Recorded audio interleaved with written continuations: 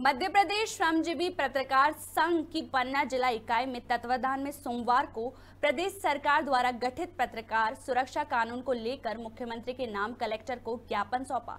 जिला अध्यक्ष धनंजय श्रीवास्तव के नेतृत्व में दर्जनों श्रमजीवियों ने कलेक्ट्रेट पहुंचकर एक सूत्रीय मांग रखी। आपको बता दें कि श्रमजीवी पत्रकार संघ पिछले चालीस वर्षो से पत्रकार सुरक्षा कानून को लेकर संघर्षरत है। उनका कहना है की संगठन के प्रांत अध्यक्ष शलभ भदौरिया को कमेटी में जगह दी जाए और उनके द्वारा सुझाए गए प्रतिनिधि को उपयुक्त समिति में सम्मिलित किया जाए।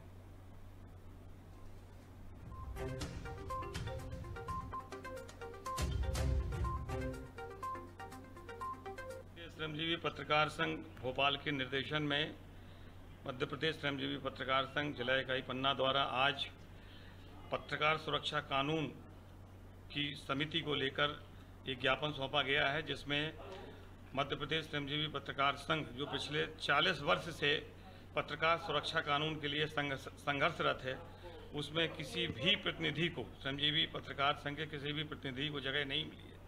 और जगह दी जाए इसके लिए माननीय मुख्यमंत्री को माननीय कलेक्टर पन्ना के माध्यम से एक ज्ञापन सौंपा गया है और मांग की गई है कि मध्य प्रदेश श्रमजीवी पत्रकार संघ के, के प्रतिनिधि को इस कमेटी में सम्मिलित किया जाए।